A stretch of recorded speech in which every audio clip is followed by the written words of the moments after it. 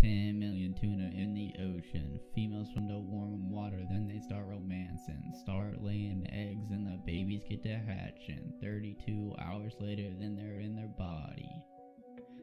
Then the yolk sacs come in handy. They start eating it, but no, it's not dandies. After 30 days, they're a fry, but it's not tasty. Give them three months, yeah, you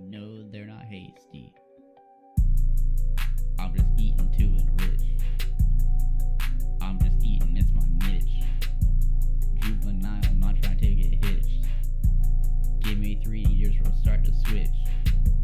Got a wedding ring, wife is breathless. Adult tuna, now ignorance is bliss. Had a lot of babies, it's my passion. Tuna life is salty, but you're not me.